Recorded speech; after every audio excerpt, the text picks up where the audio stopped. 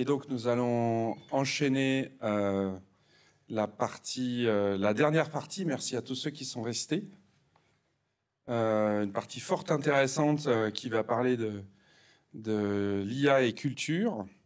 donc je, tenais à être présent parce que c'est très intéressant de voir d'autres usages de l'IA.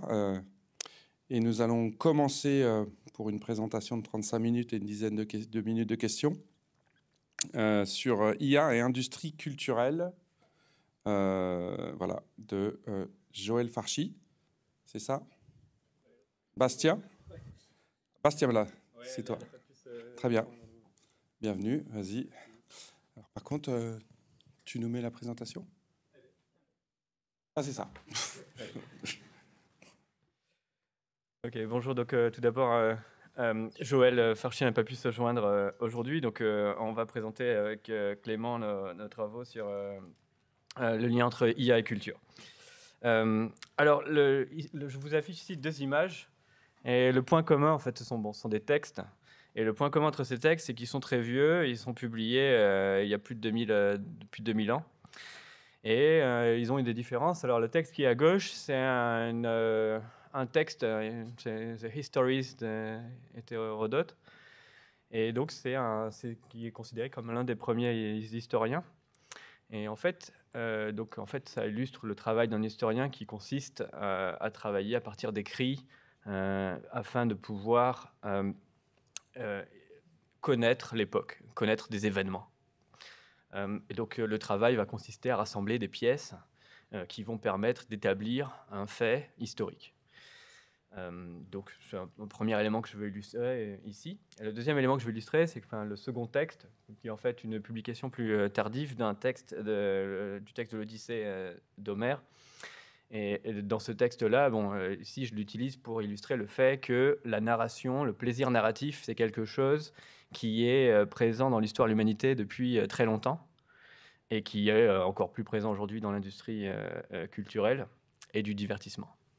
Et en fait, euh, on va traiter de ces deux thèmes euh, aujourd'hui, et avec un point commun, euh, qui est d'utiliser les expériences affectives. Donc là, jusqu'alors, vous vous demandez quel est le rapport avec tout ce que je vous dis, et j'espère que ce sera plus clair dans quelques diapos. donc, historiquement, la manière dont les, disons, les, les, expériences affectives ou les émotions ont été conceptualisées, c'était, bon, on dispose de six émotions de base ou plusieurs. Euh, qui sont euh, innés, euh, génétiquement codés, et donc certains stimuli, certains événements de l'environnement vont susciter des réactions précodées. Et puis les conceptions plus modernes consistent à dire que finalement les données pour soutenir cette première hypothèse ne sont pas valides. Et au contraire, ce qui semble déterminer notre expérience subjective, notre expérience affective, c'est ce qu'on pourrait appeler la valence et euh, l'excitation. Donc on peut être euh, quelque chose peut se produire et peut être positif ou peut être négatif et puis peut être particulièrement saillant ou, pas franchement. Voilà. Donc pourquoi je vous parle de ça? Parce que euh, maintenant on a une bonne idée mathématique, en tout cas on a une bonne idée des computations sous-jacentes à ces expériences subjectives. et donc on sait à peu près modéliser la manière dont les événements qui se produisent dans un environnement affectent l'expérience affective. Donc ici, la formule que je propose est, très simple. Euh, c'est un résumé d'un des papiers cités ci-dessous. Mais euh, disons que cette équation, dans cette équation, elle nous dit, voilà, votre euh, expérience affective à un moment donné, elle dépend de la moyenne des événements qui se produisent à l'instant donné, ou elle dépend de la moyenne de la valeur des choses que vous pouvez faire dans votre environnement. Donc il y a beaucoup d'articles que j'ai cités ici, il y, en a, encore plus, mais disons qu'il existe des modèles, mathématiques qui relient euh, ce qu'il se passe, quelle va être la réaction affective en réaction à un événement dans l'environnement. Et le point clé ici, c'est que euh, euh, que ce soit le changement dans l'environnement ou un événement, une récompense qui soit obtenue ou non, ce qui se passe dans l'environnement, la valence de l'environnement va se refléter dans les expériences affectives.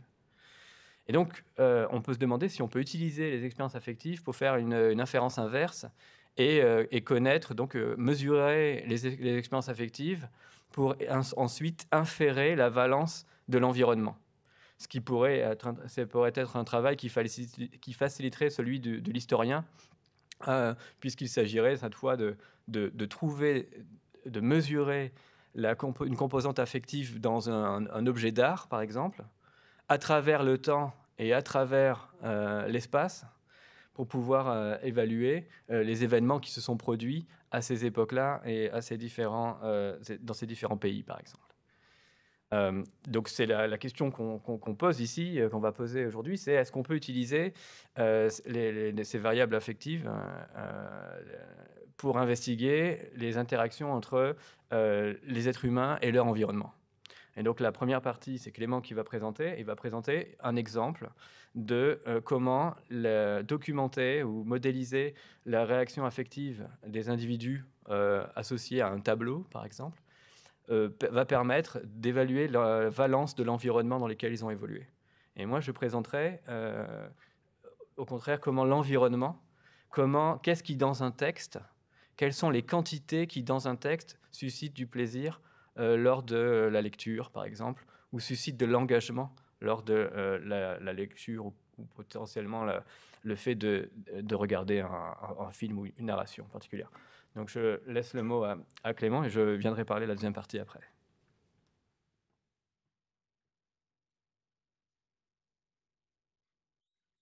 Euh, bonjour à tous. Euh, donc oui, merci Bastien pour cette introduction. Donc moi je m'appelle euh, Clément Gorin et donc ce que je voulais vous présenter aujourd'hui, c'est un projet en cours avec des collègues de l'université de Toronto et l'université Bristol. Ça s'appelle State of the Art, plutôt pour le fait qu'on travaille avec des peintures, qu'on utilise des méthodes de dernière génération euh, donc c'est plutôt, euh, plutôt un, jeu de mots. Et donc, comme l'a dit Bastien, donc, euh, dès qu'on traite avec des données historiques, en fait, il y a une difficulté majeure qu'on a, c'est bon, effectivement que plus on va loin dans le temps, plus les données sont, sont, sont, hétérogènes et plus les données sont, sont peu disponibles. Et donc l'idée, c'est que donc il existe beaucoup de représentations indirectes de ces contextes historiques à travers notamment des œuvres d'art. Et donc là, ça peut être euh, effectivement des œuvres d'art écrites, donc comme l'avait montré Bastien, ça peut être euh, de la musique d'une certaine manière. Et donc nous, ici, on va s'intéresser plutôt aux peintures. D'accord? Et donc la, conjecture qu'on va faire, c'est que les peintures, finalement, c'est comme une fenêtre vers des contextes historiques, donc elles contiennent euh, des informations qui sont importantes pour pouvoir appréhender ces différents éléments. Et donc là, effectivement, donc on, va essayer d'utiliser des modèles euh, d'images pour pouvoir euh, extraire euh, tout un tas de choses des, peintures. Et donc, donc l'idée principale ici, c'est que donc, les individus sont influencés par leur contexte socio-économique. Et donc, une partie de cette influence va se traduire par des représentations, notamment sur, sur des tableaux. Et donc, là, je voulais vous montrer deux exemples. Euh, le premier qui date des années 1500, euh, qui représente finalement des, euh, donc, dans lesquels on voit beaucoup de, de créatures et de fruits exotiques, voilà, qui datent enfin qui, qui présupposent de, la découverte un petit peu du, du Nouveau Monde. Et donc plus tard, un autre exemple, c'est la liberté guidant le peuple, qui représente la révolution de juillet à Paris. Et donc ici, nous, on va utiliser un petit peu, euh, donc effectivement, dans une peinture, on a beaucoup de choses, ok? Et donc comme, un peu comme une, euh, comme une statistique, comme une proxy, on va utiliser, euh, on va essayer d'extraire les émotions qui sont présentes dans les peintures et voir comment ces émotions peuvent influencer ou peuvent nous donner des informations, disons, sur les contextes culturels. D'accord? Et donc, un second exemple, pas dans le temps cette fois, mais dans l'espace. Donc ici, on a euh, une première peinture euh, à gauche euh, qui représente, donc ça c'est une représentation plutôt, plutôt française qui célèbre les campagnes napoléoniennes. Et quelques années plus tard, on a la réponse de William Turner, donc peintre anglais qui était ennemi de la France à l'époque, donc de Hannibal qui traverse les Alpes et qui est largement interprété comme une critique un petit peu des ambitions, des ambitions napoléoniennes. Donc, euh, ce papier ou ce projet, euh, il va analyser des euh, larges collections de peintures pour pouvoir dire des choses sur les contextes. Donc, on essaie de faire plusieurs choses. Donc, bah, un, on va collecter des données. Deux, on va écrire un modèle d'image, en sachant que donc en économie, disons, bon, la, prédiction, c'est assez rare parce que les gens s'intéressent plutôt à, l'inférence causale. Et donc, souvent, quand on fait de la prédiction, on préfère des modèles qui sont relativement plus, euh, petits, plus faciles à manipuler. Euh, parce que, bon, s'il y, a une erreur de prédiction, mais qu'elle est à peu près normalement distribuée, euh, c'est pas trop un problème pour ce qu'on veut faire après. Et donc, on va, à partir de ça, on va créer des séries temporelles euh, des émotions à travers le temps. Donc pour l'instant, on a traité euh, à peu près une vingtaine de pays, euh, sur une période relativement longue. Donc aujourd'hui, je vais vous montrer quelques, quelques résultats qu'on a eus pour la France. Et donc l'idée, c'est que donc, les émotions qui sont à l'intérieur d'une peinture, finalement, donc, donc c'est un résultat de la peinture, mais c'est aussi un résultat de bah, ce que le peintre a voulu représenter, dans quel style il a voulu le représenter. Et donc pour ça, on va projeter les émotions sur leur contexte. Donc ça veut dire qu'on va être capable de récupérer en fait la, partie du contenu émotionnel d'une peinture qui est attribuable au contexte. Et donc pour nous, un contexte, c'est euh, typiquement ben, un pays, euh, donc typiquement la France, dans une période donnée. Et donc typiquement, on a pris des périodes, euh, de 10 ans. et donc ensuite, à partir de ça, eh ben, on va essayer de relater ces émotions à des périodes de changement structurel. OK. Donc pour les données, euh, donc résumé, donc on, a, on a collecté à peu près 400 euh, 000 euh, peintures par un petit peu moins de 10 000 artistes et on a eu accès à des, à des labels, des annotations d'émotions, donc à peu près 1 500 000, de deux papiers qui voulaient faire de la caption generation. donc du coup, ça, c'est des papiers en informatique. Et donc on collecte systématiquement des données sur les événements historiques et sur les caractéristiques euh, des peintres. Donc pour l'instant, ça c'est encore en progrès, donc je vais vous montrer juste quelques, euh, quelques exemples euh, qu'on a, qu'on a sélectionnés. Voilà. donc ça, c'est à peu près la distribution des données qu'on a. Donc effectivement, toujours le cas avec les données historiques. Donc on a une couverture qui est relativement hétérogène en fonction des pays et en fonction des périodes. Et donc les émotions, à quoi, elles ressemblent? Donc nous, on va s'inscrire plutôt dans la, vision un peu old school des, émotions. Euh, donc ça veut dire que dans les données qu'on a, finalement, euh, donc, euh, on a des annotateurs qui ont regardé une peinture. Ils pouvaient choisir une émotion dominante parmi neuf émotions disponibles. Vous pouvez voir, il y en a quatre positives, quatre négatives et une neutre. Et ce qui fait que pour chaque peinture, on ne va pas avoir une seule émotion, mais plutôt une distribution d'émotions avec différents scores. Et donc c'est ça qu'on va essayer de modéliser. Et donc, euh, pour avoir une représentation graphique de ce qui ressemble, donc ça, c'est des données euh, du set d'entraînement où euh, on a la peinture qui a le, score le plus haut pour chacune des émotions. Donc ici, j'ai décidé de ne pas représenter le dégoût, bon, pour, vous épargner, cette peinture. Okay Et donc, les, annotateurs ont aussi laissé en général une phrase pour essayer de décrire donc, pourquoi ils ont choisi cette émotion. Et donc euh, ici, on a représenté les mots euh, distinctifs, euh, donc avec les méthodes de TF, IDF, pour, pour chacune des émotions. OK. Et donc pour prédire les émotions, donc on va avoir une approche par apprentissage par transfert. Donc on va utiliser euh, donc un modèle euh, pré-entraîné euh, dans l'espace image, et donc ensuite qu'on va, qu'on va, qu'on va ajuster à nos données de peinture, donc finalement bah, pour faire le, transfert de domaine. Donc le modèle est estimé par maximum de vraisemblance, et donc étant donné qu'on a une distribution, donc notre fonction objective, ça va être la KL divergence. Voilà. Et donc, euh, donc ça, euh, vu l'audience, je pense que je vais passer. Donc, effectivement, donc on a des données images. Euh, et donc, il va falloir un modèle qui capture les interactions à la fois dans l'espace, mais aussi, mais aussi dans la profondeur. Et donc, typiquement, donc un réseau convolutif. donc, notre modèle, il fit assez bien la distribution des données. Oups. Ah oui, bon, OK. Bon, il fit assez bien la distribution des données, il va falloir me croire. Voilà. Et, euh, et, voilà. Et donc, quelque chose qu'on peut faire, peut-être pour interpréter un peu plus que, ce que fait le modèle, euh, c'est finalement faire des cartes d'attribution. Et donc, ça, par exemple, c'est un exemple euh, qui est en dehors du set d'entraînement. Donc, c'est le, le cri de Munch. Et donc, effectivement, le modèle prédit un score de peur qui est proche de 100%.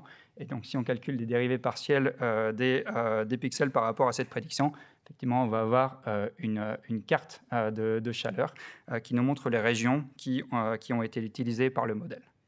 Et donc ça, on peut le faire effectivement bon, pour des peintures qui sont un peu plus compliquées, dans lesquelles on a un contenu émotionnel qui est beaucoup plus varié. Et donc ce que j'ai représenté ici avec des cercles, c'est le 90e percentile pour chaque émotion significative qui a été détectée dans l'image. Et vous voyez que c'est relativement interprétable dans le sens où on a voilà, de la peur autour des armes, typiquement, euh, du dégoût ou de, la, euh, ou, de, ou de la colère sur les différents cadavres, etc. Et donc, bon, ça c'est le type de, features qui sont extraits par, euh, le modèle, mais je vous apprends rien là-dessus. OK. Et donc, donc, on a prédit toutes ces émotions pour notre peinture. Mais effectivement, bon, je suis un économiste, donc neuf émotions, je ne pense pas que j'ai, euh, je pense pas que j'ai tout, ce, j'ai tout ce registre émotionnel. Donc on va essayer de simplifier un petit peu les choses. Euh, première chose, c'est que ces émotions sont, très corrélées. Donc on va faire une analyse en composants principales. Et donc aujourd'hui, je vais vous montrer euh, plutôt le, la composante principale 1, que je vais appeler composante de peur, mais en fait, donc c'est peur, colère et tristesse. Et la composante 2 que je vais appeler, que, je vais appeler amusement. Et donc euh, ici, donc on va faire une décomposition linéaire euh, assez classique. D'accord? Donc ici, on va décomposer le score d'émotion en une partie qui est attribuable bah, finalement aux préférences de l'artiste, donc une partie qui est commune à toutes les œuvres euh, de l'artiste, peu importe quand il les a peints, une partie qui va être attribuable au contexte, donc ça veut dire une partie qui va, la partie des émotions qui est commune finalement à tous les artistes français, par exemple en 1810, donc ça qui, qui fait partie d'un contexte en particulier en sachant qu'on va contrôler bah, pour le type d'exercice, est-ce que c'est un portrait, etc., ou pour le style de la peinture, parce qu'effectivement, entre les différents styles de peinture, on peut avoir des contenus émotionnels qui sont systématiquement différents. Donc ça, c'est quelque chose qu'on va filtrer, et un terme d'erreur euh, qui est euh, idiosyncratique. donc c'est ce que je vais vous montrer à partir euh, de maintenant. Et donc, au-delà de ces contextes, on va utiliser deux métriques qui sont relativement simples un indice de positivité qui va nous dire si les émotions sont plutôt positives ou négatives, et un indice de désaccord qui va essayer de capturer finalement la variance dans les émotions. Donc là, euh, c'est la standard deviation euh, de l'indice de positivité. et donc ce qu'on peut voir, donc un exercice très simple pour voir si euh, si les émotions peuvent nous informer sur les contextes historiques. donc ici, c'est le cas de la France. Donc vous pouvez voir sur le premier graphique euh, l'évolution des émotions au cours du temps. Et donc, euh, dans les zones euh, grises, on a les conflits majeurs. Et donc, là, a priori, on voit qu'il semble y avoir une, certaine corrélation. Donc, on ne se prononce pas sur, sur la causalité, mais au moins une corrélation. Et de manière intéressante, dans la figure B, euh, donc c'est un zoom euh, sur une période euh, particulière et donc notamment on peut voir que le score des émotions, le, score de peur, il a augmenté significativement après la Révolution française pendant la période de la Grande Terreur. il s'est stabilisé au début de la zone bleue avec l'entrée de Napoléon au pouvoir, a diminué sur la période où Napoléon finalement il a gagné toutes ses batailles et donc à partir de 1810 quand on passe dans la zone rouge, c'est la période où bah, les Français ont commencé à perdre leur bataille et donc en France, on voit que le score d'émotion, euh, le score de peur, pardon, a, beaucoup augmenté. et donc ça, c'est une émotion qui est plutôt attribuable à, la France, parce que si on regarde par exemple euh, le score euh, de peur en Angleterre sur la même période, il est relativement stable. Et si, on est, bon, si on voulait interpréter les variations, il est quand même plutôt contracyclique. voilà. Et donc, qu'est-ce qu'on peut dire avec ça? D'autres exercices qu'on a fait, c'est de regarder si, bah, par exemple, euh, la composante d'amusement qui est typiquement euh, associée à, bah, la diversité, à l'arrivée de nouvelles denrées, corrélait assez bien avec, avec l'évolution du PIB par tête. Et donc ça, c'est une corrélation qu'on retrouve pour la France, mais aussi dans tous les autres pays. Et peut-être de manière plus intéressante, euh, donc cet index de désaccord que je vous avais montré, qui capturait finalement la dispersion des émotions, il corrèle assez bien avec des mesures historiques qu'on a sur les inégalités. Et donc l'idée, c'est que si euh, dans un même contexte, dans un même pays à une même période, on a des artistes qui représentent des réalités qui sont complètement différentes. Vous pouvez penser par exemple à la révolution industrielle où on a certaines peintures qui vont mesurer le progrès, euh, plutôt une émotion positive vers l'avenir, et puis d'autres peintures qui vont mesurer plutôt euh, la condition ouvrière. Ben, effectivement, on va avoir une dispersion très importante des émotions. Et donc, euh, ce qu'on montre ici, c'est que ça corrèle assez bien finalement avec des indicateurs historiques qu'on a sur les, euh, sur les inégalités. Et donc pour faire un petit peu, pour essayer de quantifier les choses un petit peu mieux, ici je vais vous présenter trois exemples on va essayer d'évaluer finalement l'impact émotionnel de différents, de, différents changements dans, dans, le contexte. Et donc ici, moi j'ai pris bon, trois, trois exemples, l'exemple des guerres, l'exemple des, des, chocs commerciaux et l'exemple des, et des grèves générales. Et donc là, effectivement, donc chaque pays euh, euh, chaque pays euh, va faire l'expérience de ces différents, de ces différents événements à différents points dans le temps. Et donc ici, on va les normaliser pour essayer de regarder l'impact moyen finalement de ces événements sur les différents pays. Et donc, si on regarde la guerre, par exemple, on voit que la guerre se traduit typiquement, donc là, l'événement à un point zéro se traduit par une augmentation assez forte et durable du score de peur et donc une diminution asymétrique euh, euh, du score de positivité. Si on regarde par exemple euh, l'impact des chocs commerciaux, qui est assez intéressant, vous pouvez voir qu'à court terme, dans, dans, le graphique en haut à droite, à court terme, on a une augmentation assez significative du score de peur, mais qui tombe assez largement à travers, à travers les, les, périodes suivantes. Et, donc, et ça, ça se traduit aussi, donc c'est corrélé au moins avec une augmentation sur les périodes suivantes significative euh, de, de, la composante euh, d'amusement, en tout cas qui dans les peintures est toujours associée finalement au fait euh, bah, voilà, d'avoir de, des nouvelles variétés de, biens et de produits et de, des nouvelles variétés. Et donc finalement, un dernier exemple qu'on a, qu'on a regardé, c'est l'impact des, des grèves générales. Et donc on peut voir qu'on a une baisse forte et durable typiquement des, des scores de peur et une hausse euh, tout aussi durable euh, des scores de, positivité. Donc ça, c'est juste quelques exemples pour illustrer euh, le type de travail qu'on veut faire, en sachant que, voilà, donc là, c'est quelques exemples choisis sur la France, mais donc on essaie de faire ça de manière beaucoup plus systématique, en collectant des listes d'événements qui ont affecté bah, effectivement tous les différents pays à différents points dans le temps. voilà. Ah,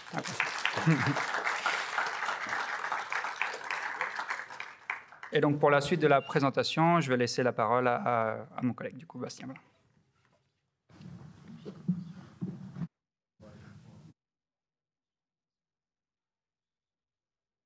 Euh, à partir de maintenant, je vais parler de l'autre aspect, donc qu'est-ce qui va expliquer l'engagement dans les expériences narratives? Donc, c'est les projets qui sont en cours. Euh, donc, on est en train de, collecter les données et de construire les, modèles. Donc, euh, ce que je vais présenter là est très préliminaire. Euh, donc je, parlais donc de l'Odyssée d'Homère. Et, et, donc, dans, dans l'Odyssée d'Homère, en fait, ce qu'on peut constater, c'est qu'il y a un point assez important, c'est qu'il y, a des, il y a des péripéties. Il se, passe des, choses qui sont censées capter l'attention. Donc, il y a des obstacles que doit franchir le héros. Et donc c'est un peu un point commun entre toutes les narrations.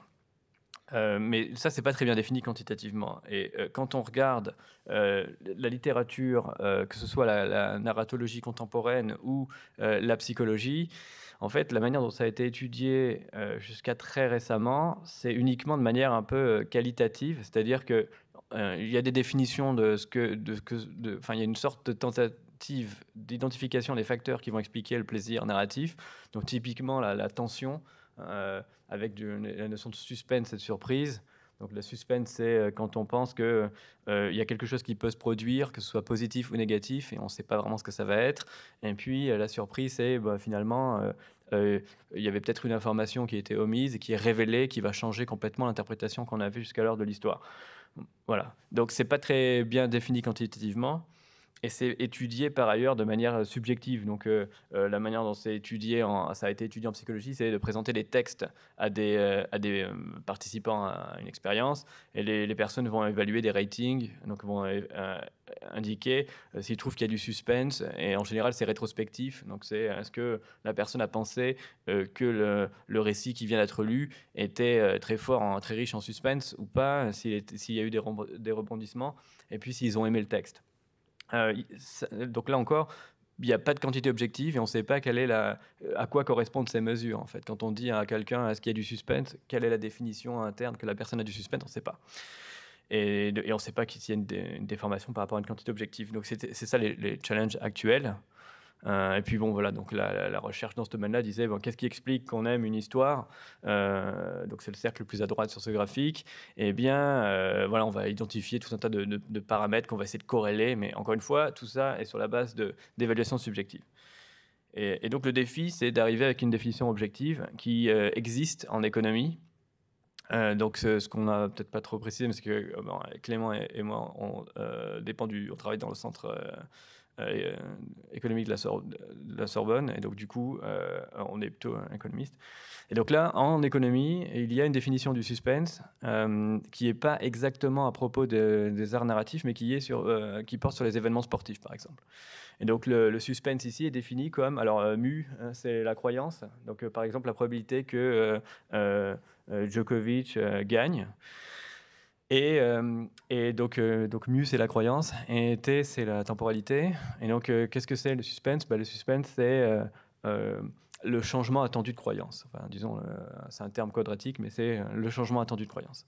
Donc, il y a un événement qui se produit et qui va nous permettre de changer nos, croyances.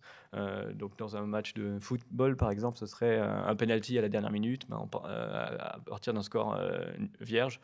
oui, on s'attend à ce que ce soit un événement riche en suspense parce que ça peut aboutir à un changement de croyance.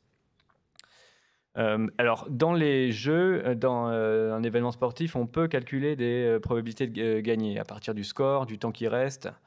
Et, donc, on peut estimer ça.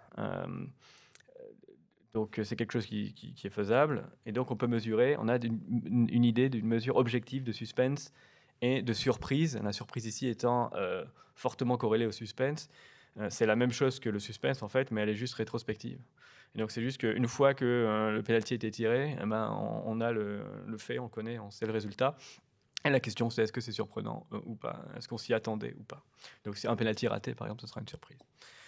Euh, d'accord, voilà. Donc là, on dispose d'une de, quantité objective, on dispose d'un modèle qui est utile pour expliquer les événements sportifs, mais qui est pas tellement, enfin qui n'est pas, on est loin, enfin on n'est pas, on est assez loin de la question initiale qui est de, de plaisir narratif bien qu'en fait un événement sportif, ça peut être une, forme de narration.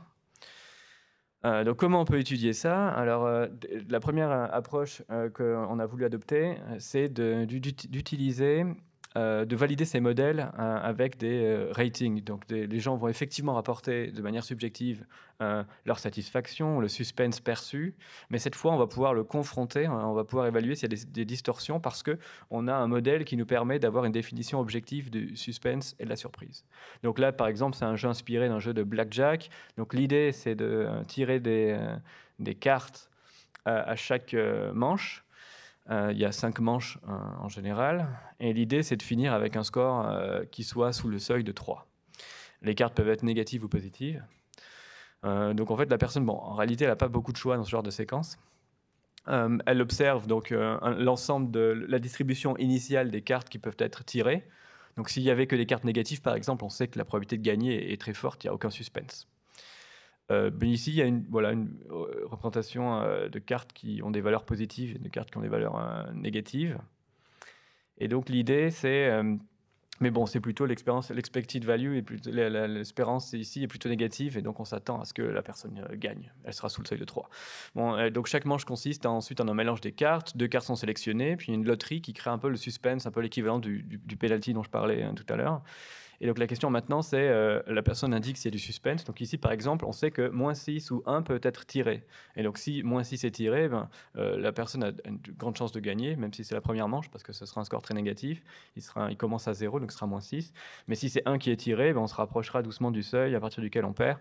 Et donc euh, finalement, on pourra perdre. Donc ici, il y a un changement attendu de croyance qui est assez élevé, parce que le résultat ici va changer fortement la croyance qu'on a de gagner qui est initialement, euh, euh, euh, qui est calculé initialement en fonction de la distribution présentée en haut à gauche. en plus, la carte est révélée, la personne, à la fin de, des cinq manches, indique sa satisfaction. Donc c'est le genre de, paradigme qu'on utilise. Hein. Ça c'est un exemple. Il y en a qu'on a spécialisé pour étudier la surprise. Il y a plein de variantes autour de, ce thème. Une des variantes, c'est l'utilisation de les gens jouent pour eux-mêmes ou ils observent d'autres joueurs jouer. Et ça, ça correspond davantage à l'expérience narrative qui est que on, on joue pas, c'est pas, on, prend pas des choix pour nous-mêmes. mais on observe quelque chose se passer. Avec ce jeu, on peut voir qu'il y a différents types de suspense en fonction de l'ensemble des cartes disponibles. Je donne deux exemples ici. Le graphique de gauche dans lequel il y a très peu de suspense parce que la personne euh, euh, à chaque fois est présentée avec euh, des cartes qui sont tirées, qui sont très proches, qui dépassent le seuil. Donc à gauche, on a un exemple d'une personne qui perd finalement, c'est la, ligne droite, enfin c'est la courbe en, gras. Et puis une, courbe dans laquelle il y a beaucoup de suspense, c'est-à-dire que euh, à chaque fois, donc l'alternative est représentée par la ligne en pointillé, à chaque fois l'alternative pouvait nous faire passer de l'autre côté du seuil. Et donc on peut voir que euh, à chaque fois, l'alternative, les, deux alternatives sont très aboutissent à des résultats très différents, ce qui correspond à beaucoup de suspense. Voilà, donc ça c'est euh, la version qu'on a quand on évalue pour nous-mêmes ou quand on évalue ces variables-là pour, pour d'autres personnes. Bon, euh, en résumé, euh, ce qu'on peut voir, c'est que euh, quand on joue pour soi-même, ce qui compte, c'est on veut gagner. Quoi. Donc la courbe verte, ce qu'on voit, l'axe des Y, c'est la satisfaction à la fin d'un jeu. l'axe des X, c'est les niveaux de suspense. En vert, c'est quand la personne a gagné le jeu, et en bleu, c'est quand elle a perdu. Et donc on voit que la satisfaction, elle dépend fortement si on a gagné ou perdu. Très peu du suspense à part dans les pertes, mais là encore, c'est, enfin, ça reflète. En fait, s'il y avait du suspense, c'est qu'ils auraient pu gagner.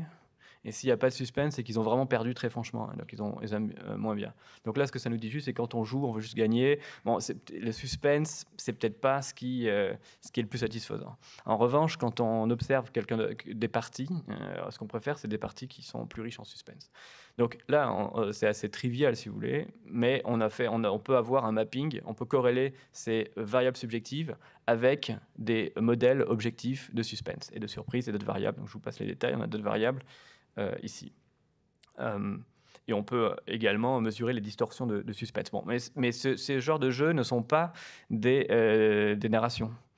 Et donc, ce qu'on fait également, c'est qu'on traduit ces jeux, on peut les traduire en narration. Donc, on peut dire, par exemple, l'équivalent de ce jeu de cartes dans une narration, c'est une personne qui, est, qui a voyagé vers une île, une tempête fait que le bateau est reparti, donc la personne est coincée sur l'île, elle trouve euh, une carte euh, avec euh, différents endroits où on peut trouver des ressources, une liste de ressources, mais la légende est effacée. Donc on se retrouve dans une situation assez similaire, sauf que cette fois on peut énarrer le jeu, et donc c'est une version où en fait on peut toujours appliquer nos modèles économiques au texte, et cependant, cette fois, il s'agit bien d'un texte. Donc on, peut, on va pouvoir évaluer si les ratings euh, rapportés par les gens, si les évaluations rapportées par les gens en termes de suspense et de satisfaction euh, sont bien reliées aux quantités objectives. Et ça, ça nous intéresse. Pourquoi? Parce que après, une fois qu'on qu'on connaît la distorsion, une fois qu'on a validé ces mesures subjectives avec des modèles, avec des quantités objectives, euh, on, peut, on, se dit qu'on peut étendre ces mesures-là, on peut entraîner un modèle à reconnaître euh, ce qui est, plaisant dans la, narration euh, en l'entraînant sur des données annotées.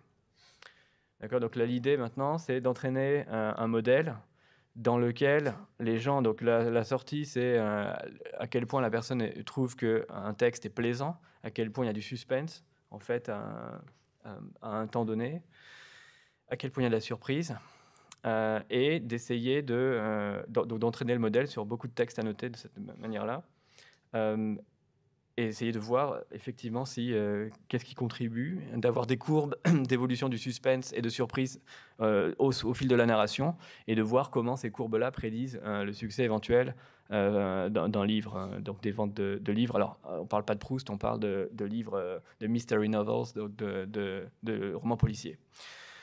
Euh, on veut aussi entraîner ce modèle sur les, des scripts de, films euh, pour permettre, parce qu'on peut disposer, euh, avec à partir de, certains de nos partenaires, on peut disposer de la manière de quand est-ce que les gens décident de quitter une vidéo qu'ils regardent, et donc on peut mesurer l'engagement.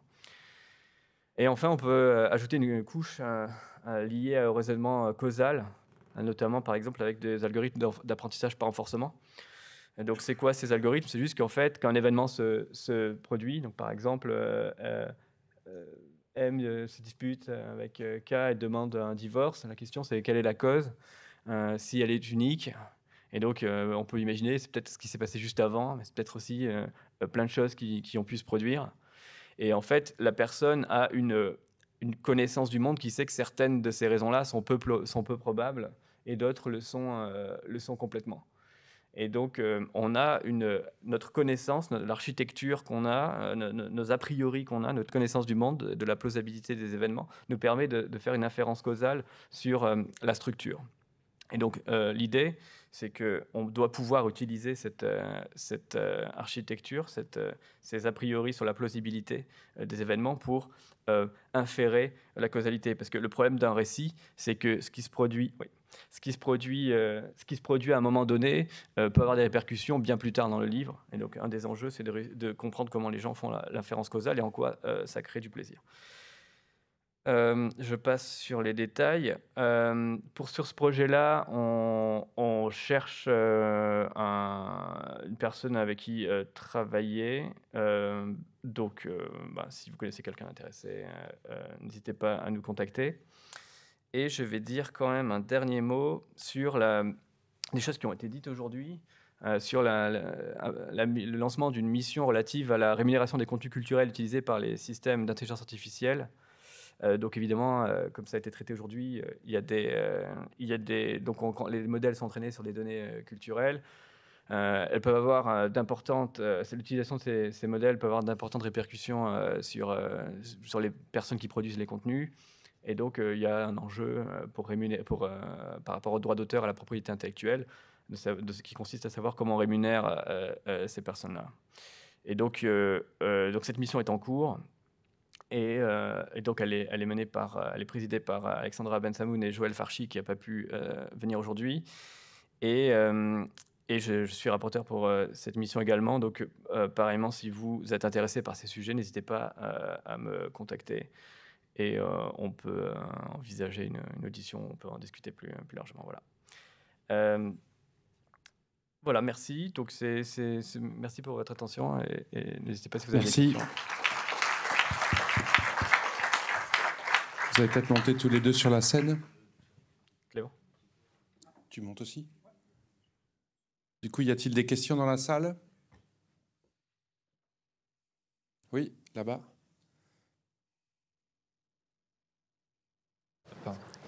Euh, merci beaucoup pour, la, bah, pour les deux présentations.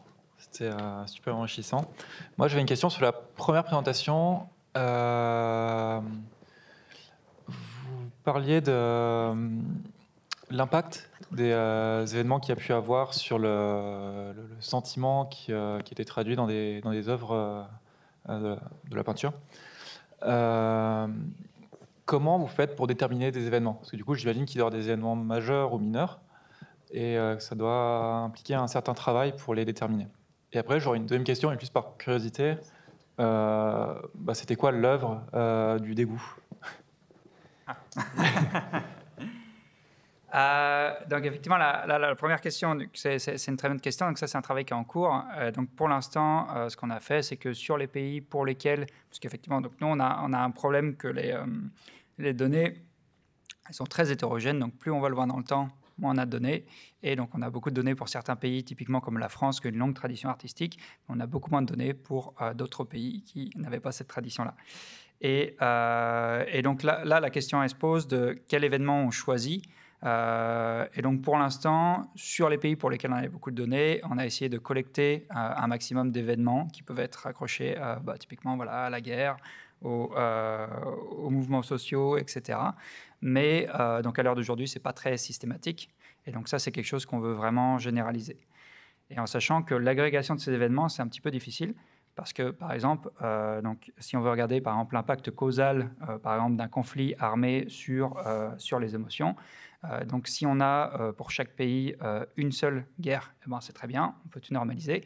Euh, mais par contre, un pays qui euh, voilà, a des guerres à répétition, euh, du coup, l'impact causal va être beaucoup plus difficile à extraire. Et donc ça, c'est quelque chose que pour l'instant, on fait de manière assez, assez brute et sur lequel, sur lesquels on travaille activement. Et donc, on aura sûrement plus de résultats voilà, un, peu plus, un, peu, plus tard. Donc, pour l'instant, je vous invite à, à, considérer ce que je vous ai montré plutôt comme des corrélations subjectives plutôt, que des, plutôt que des relations causales. Et, euh, et, pour, la, pour la peinture sur le dégoût, euh, donc c'était euh, une œuvre japonaise où, ouais, si, si, vous voulez, vous pouvez m'envoyer un email et je, et je vous la ferai suivre. Il y a le radeau de la Méduse aussi qui est pas mal, euh, comme truc dégoûtant, mais bon. Ouais. Merci. merci. Une Oui, dernière question, rapidement. Oui, rapidement. Euh, oui, plutôt sur, donc, sur la première présentation. euh, donc oui, la, la peinture comme ma- marqueur historique des émotions du- euh, culturelles. J'ai pas bien vu jusqu'à quand ça s'arrêtait et justement à partir de quand le, le média peinture n'est plus pertinent et aujourd'hui quel serait le média le plus pertinent et dans le futur est-ce que les LLM seraient un, un marqueur euh, pertinent euh, culturel ou finalement juste les datasets qui l'ont entraîné.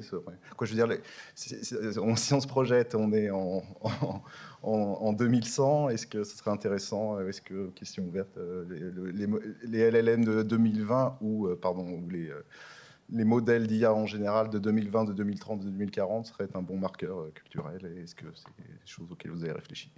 Ah, bon, c'est une question relativement large. Alors, euh, pour l'instant, nous, on a travaillé essentiellement sur les peintures euh, du 18e, 19e, 20e. Euh, donc, l'avantage des peintures, bon, c'est que euh, donc il y a des représentations numériques qui sont bon, qui sont qui sont déjà là, donc c'est- plus facile à modéliser et c'est aussi un moyen d'expression relativement individuel et donc ça nous permet voilà de d'avoir une espèce de donc d'agréger finalement les une manière d'agréger un petit peu les, les, préférences individuelles dans un agrégat qu'on peut ensuite qu'on peut ensuite interpréter. Après, je pense qu'aujourd'hui, euh, effectivement, donc il y a euh, peut-être davantage de moyens d'expression, euh, donc c'est pas euh, c'est pas complètement évident. J'ai beaucoup de collègues qui bossent euh, sur euh, bah, plutôt sur les médias. Euh, et donc, ils regardent finalement donc à quel point, par exemple, la une d'un journal est, est attractive ou essaye de, de susciter certaines émotions. Et donc, donc ça, c'est un autre champ de, un autre champ de l'économie. Mais effectivement, donc sur, le- sur les données d'aujourd'hui, les gens, ils s'intéressent pas tellement, pas tellement aux peintures, en tout cas. Ouais. Et donc, ce, qui, ce qui concerne les arts numériques, il y a les, les images de Anna là, qui pourraient être Ouais. passées à, la, mi- à la moulinette. ouais, effectivement.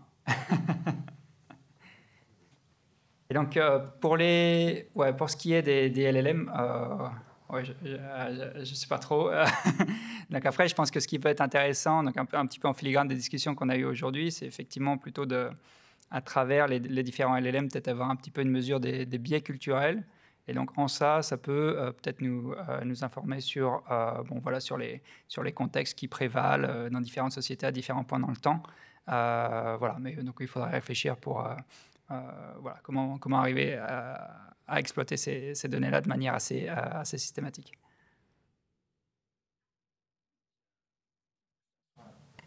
Oui, je reviens un peu sur la, la base de données parce que la- effectivement sur le premier exposé, vous, vous revenez sur les peintures essentiellement sur le, le 18e et le 19e siècle. C'est- Mm. En fait, vous n'avez pas euh, et prolongé euh, au 16e, 15e, 14e. Alors, Si. Alors si, alors, on- on a collecté les données, euh, mais pour les exercices de validation, euh, pour l'instant, euh, on ne l'a pas fait. Donc pour l'instant, c'est un, projet qui est relativement récent, donc c'est un petit peu une preuve de concept finalement. Et donc nous, on a voulu un petit peu tester l'idée sur, sur les périodes sur lesquelles on avait le plus de peinture. Hein, parce que finalement, il y a plus de chances qu'on ait un effet qui soit non biaisé, moins biaisé en tout cas sur les périodes, sur les périodes récentes, parce qu'il y a quand même euh, le problème que euh, donc les peintures qu'on observe aujourd'hui, euh, c'est un, bon, un échantillon sélectionné de peintures qui ont survécu. Et donc, plus on va loin dans le temps, bah, effectivement, donc moins, moins on observe de peintures, et donc plus on a le, le ratio un petit peu signal-bruit devient plus important. Si on revenait un peu plus en avant, il y avait beaucoup plus de peintures religieuses, d'œuvres religieuses que Hmm. d'œuvres profanes. Donc, Ouais. qu'est-ce que ça pouvait indiquer à ce moment-là? Sinon que, effectivement, une, une présence beaucoup plus importante de la religion dans la société. Donc, mais en termes d'affect, Hmm. Donc nous, normalement, en tout cas dans la décomposition, ça ne devrait pas affecter les estimations parce qu'on on contrôle pour le type d'œuvre. Et donc ça veut dire que le contenu émotionnel qui est systématiquement associé à des œuvres religieuses, en fait, donc on va le, sortir en fait euh, du score, euh, du score d'émotion, euh, du coup dont je vous ai montré la variation. Donc ça, normalement, c'est quelque chose pour lequel on essaye de, on essaye de contrôler parce qu'on a l'information euh, lorsqu'on collecte les peintures. Parce que euh, je voudrais revenir un peu sur dans votre étude, excusez-moi, parce que c'est celle qui. euh, Dans ce que vous avez montré, donc, euh, euh, la question que je me suis posée, c'était quelle est l'utilisation de l'IA Parce que pour moi, c'était de l'analyse statistique, en fait. Vous, avez montré, à partir des éléments collectés que vous avez recodés, vous faites une analyse de, en composante principale. On, pourrait, on, aurait même pu euh, directement faire une analyse de correspondance. Hein. Il n'y avait pas besoin de passer sur toutes les données en numérique. Vous pouvez garder vos données pour, pour trouver vos axes, parce que vous faites de l'analyse de variance. Donc vous pouvez retrouver donc, euh, vos axes et je pense qu'on a retrouvé la même chose. Est-ce que je me trompe ou pas? Alors euh, là, nous, les, euh, les, annotations d'émotion, on les avait pour un nombre très très limité de peintures. ok? Et donc, euh, la raison pour laquelle on a utilisé un modèle d'image, eh ben, c'est que finalement, donc on a entraîné un modèle sur cet échantillon qui était très restreint à partir de l'image à prédire la distribution des émotions qui étaient représentées. Et donc ça, ça nous a permis, bah, finalement, donc on avait, à la base, on avait 80 euh, 000 peintures. Et donc maintenant, on essaye d'avoir euh, un million de peintures. Et donc, ce qui nous permet de, bon, d'observer ce phénomène de, manière, de manière plus précise. Je ne sais pas dans quelle mesure euh, les résultats auraient euh, été similaires si on avait gardé que le petit échantillon. Mais nous, dans ce cadre-là, en tout cas, l'utilisation d'un modèle d'image, c'est vraiment pour pouvoir passer à l'échelle. Merci. Je vais poser une toute petite question, un peu complémentaire à celle de François. Euh, en fait, on, quand on regarde déjà, quand on regarde des peintures religieuses, souvent l'artiste a fait passer des sentiments qui ne sont pas religieux dans les peintures religieuses, donc on peut trouver des émotions. Enfin, je veux dire, quand on allons un peu en Italie et on verra. Et, euh, et, quand on regarde l'art moderne ou l'art abstrait hmm. pur, là, le coup de pinceau euh, joue. Et du coup, vous avez utilisé la numérisation. Euh, est-ce que ça donne des résultats, finalement, cette, hmm. l'inférence sur des, des, des, images d'art moderne, voire des arts numériques, hmm. comme ce que produit Anna là? Alors, je pense que sur l'art moderne, c'est un petit peu plus difficile. Donc, le modèle marche bien sur les arts plutôt figuratifs. Parce que sur l'art moderne, donc dans les annotateurs, finalement, c'était des, euh, c'était des étudiants. Donc, c'était pas des, et pas des étudiants en histoire de l'art. Donc, ça veut dire que ce pas des gens qui étaient très connaisseurs. Et, euh, et donc, finalement, l'émotion dominante pour les œuvres d'art moderne, c'est plutôt donc l'émotion résiduelle qu'on avait, donc something else, et donc euh, qui n'a pas une valence effectivement très, très prononcée. Et, et, là, en fait, peut-être ça, ça s'adresse à une question un peu plus générale que ni les annotateurs ni le modèle n'ont en fait le contexte dans lequel l'œuvre d'art a été produite. Et donc, finalement, bon, l'émotion qui, est lue par les annotateurs d'aujourd'hui, c'est une émotion finalement sans, connaître le, contexte ou éventuellement les messages cachés en fait qui ont été, euh, qui ont été peints à l'époque. Et donc, nous, quelque chose qu'on veut tester, mais on n'a pas réussi à le faire pour l'instant, c'est d'essayer de collecter finalement des, euh, des descriptions historiques euh, des différentes peintures pour voir si euh, ben, finalement l'interprétation de ces peintures change beaucoup euh, au cours du temps. Et effectivement, donc nous on espère que non, parce que sinon donc, ça pose un petit peu des problèmes pour les, pour les, pour les résultats qu'on présente. L'âge. Ah, bon, on pourra discuter. donc je pense qu'on va passer au prochain orateur. Merci beaucoup. Merci beaucoup.